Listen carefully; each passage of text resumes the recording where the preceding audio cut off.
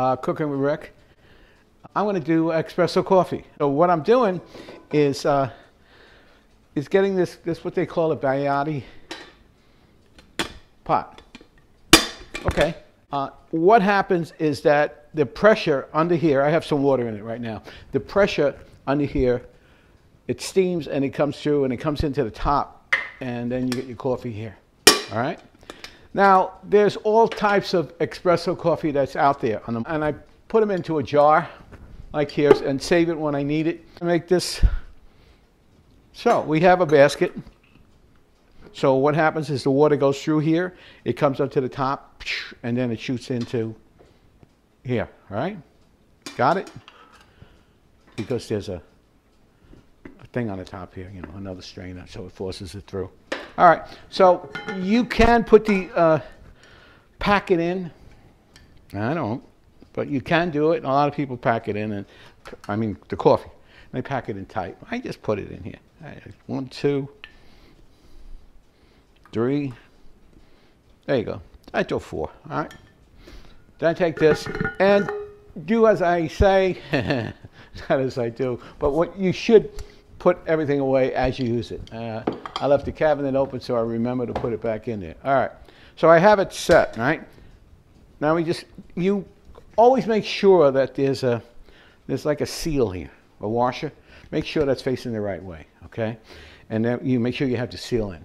Uh, I once grabbed it and made it at my son's house, a new house he moved into, and his coffee all over the walls. And all right, uh, well, he's a cool guy. He didn't say nothing.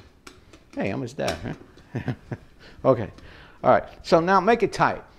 Uh, there's a valve on the side here, and the steam will shoot out. So take it and put it onto this, and it should start perking and making a lot of noise and then go from there. So I have an espresso cup ready.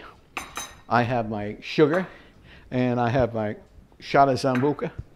Uh, my father taught me this. One shot in here goes in there. And I'll take up the whole cup. All right. And the other shot goes down there.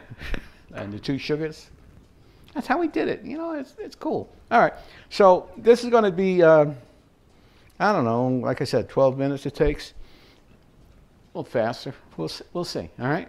Going to perk now. Uh, it's, it's, it's coming up, and you're going to hear it knocking its way.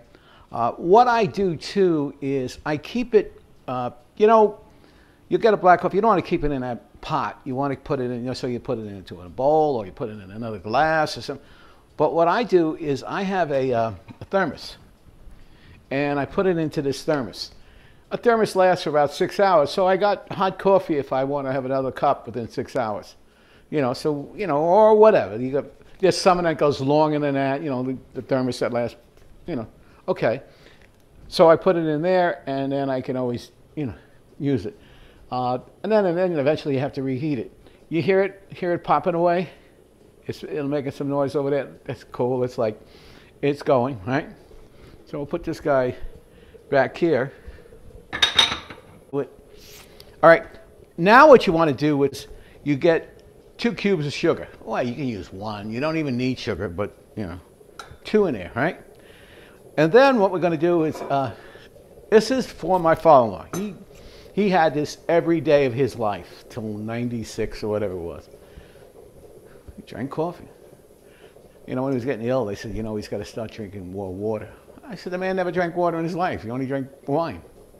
So, well, if they figured out why he made it that long, you know, maybe they can think about other people. Anyway, uh, okay, I got this bottle of Sambuca here. All right, what I'm going to do is put the Sambuca into this glass.